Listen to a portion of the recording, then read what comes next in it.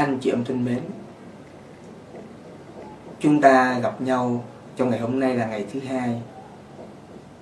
Chúng ta đón nghe sứ điệp lời Chúa kể về câu chuyện của người Samaritano nhân hậu. Cách mà Chúa Giêsu trả lời cho giới chức Do Thái, ai là người thân cận? Và qua câu chuyện đó thì chúng ta thấy cái người thân cận lại là người mà người Do Thái lên án là ngoại tộc là lai căng, là không thuộc dòng giống tinh rồng. Nhưng mà trong câu chuyện đó lại cho chúng ta thấy những người tư tế lê vi và những người giúp việc đó là những người do thái mà không chỉ do thái ở mức độ soàn xỉn mà do thái có chức vụ. Do thái được sức giàu nhưng lại đối xử với đồng loại của mình như thể là xa lạ vì nhân danh lệ luật.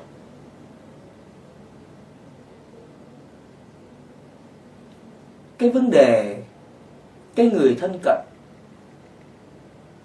theo cách mà Chúa Giêsu kể, thì chúng ta thấy nó không phải là cùng dòng máu hay không dòng máu. Cùng lề luật Thiên Chúa ban hay khác là Thiên Chúa ban không phải. Cái đó không làm nên anh em thân cận của mình một cách xã hội, một cách cộng đồng. Mặc dù đứng về bản chất, nó làm nên anh chị em của mình.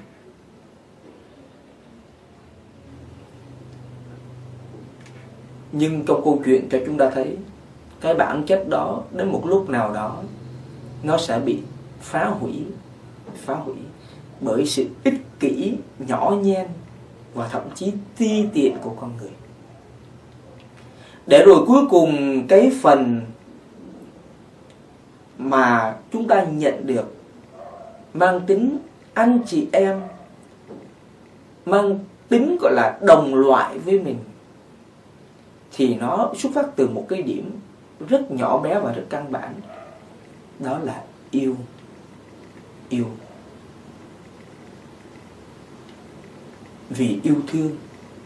Mà trước tiên là yêu Chúa, mà người ta làm cho nhau điều tốt. Và cái thứ hai là yêu chính thân mình. Người ta nghĩ rằng đến một lúc nào đó người ta cũng gặp hoạn nạn. Mà nếu được ai cứu thì hạnh phúc biết bao. Nên bây giờ họ yêu, họ cúi xuống cứu người này. Và thứ ba là yêu người yêu chính một cái người đang gặp nạn. Họ không cần kêu cứu, vẫn phải cứu.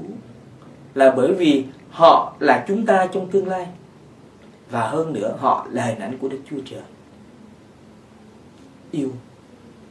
Yêu làm cho chúng ta trở nên người đồng loại với nhau. Những vấn đề khác nó cũng có thể góp phần nhưng một tí thôi cái lớn hơn là yêu. Tạ ơn Chúa vì chúng ta đang được học yêu. Amen.